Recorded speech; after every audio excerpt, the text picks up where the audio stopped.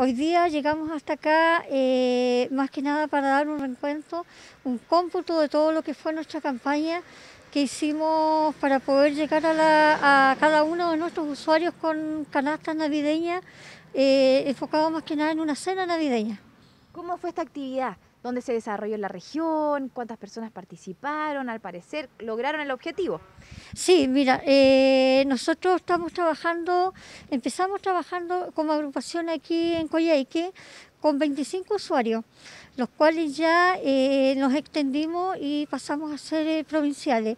Estamos trabajando con todo lo que es la región de Aysén, ya con 120 usuarios los cuales están desplegados desde Balmaceda, Villa Frey, El Blanco, eh, Villa Ortega, Ñireguao y Villa La Tapera. Y contarles también de que vamos a seguir trabajando, nuestro plan de trabajo eh, para el próximo año es poder eh, llegar a más localidades, firmar un convenio también con la comuna de Lago Verde, que también tenemos ya agendado en el mes de febrero, tenemos también eh, todo lo que es el trabajo conjunto con Senadi y la Compin para poder seguir eh, trabajando en todo lo que es el mundo de la discapacidad.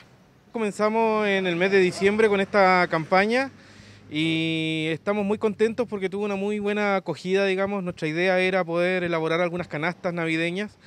Eh, son 120 usuarios, necesitábamos alrededor de 80 canastas.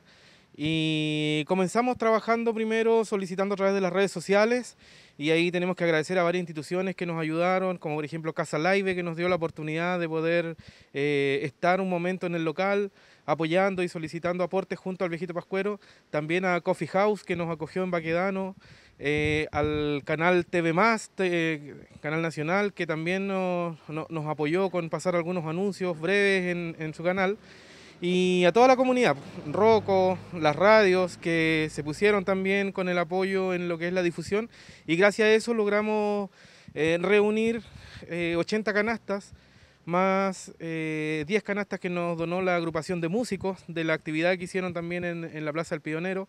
Así es que estamos bastante contentos. Gracias a ello, durante los días 23, 24 estuvimos en, en Coyhaique, Balmaceda, El Blanco, Villafrey, eh, Villa La Tapera también, ya entregando estas canastas a los usuarios. Y gracias también a que el viejito Pascuero se hizo un tiempito ahí antes de salir el día 24 a repartir los regalos por todo el mundo, ¿no es cierto? Se hizo un tiempo y estuvo con nosotros apoyándonos en esta linda iniciativa.